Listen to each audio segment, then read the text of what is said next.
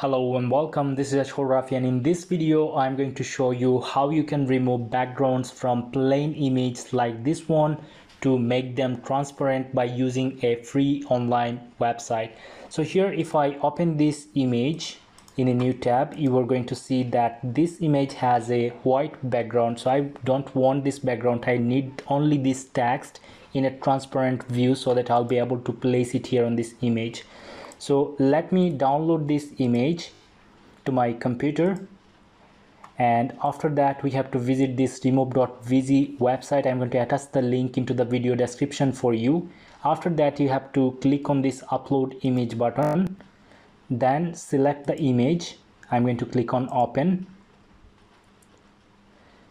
And just take a look. We have got a transparent image already. So now if i click on download and let's save this one.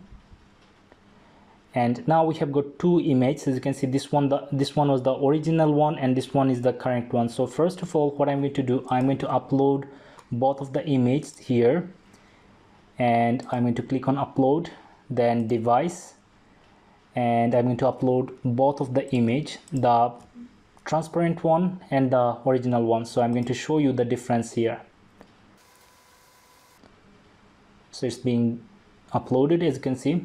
And here we have got the original one if I add it here. We have got some background added here. But this one we have removed the background by using this website. So if I add it here just take a look. It is looking really nice here. Okay so that was the process. If you want to remove backgrounds from plain images you are going to be able to use this website completely free. I'm going to attach the link into the video description for you.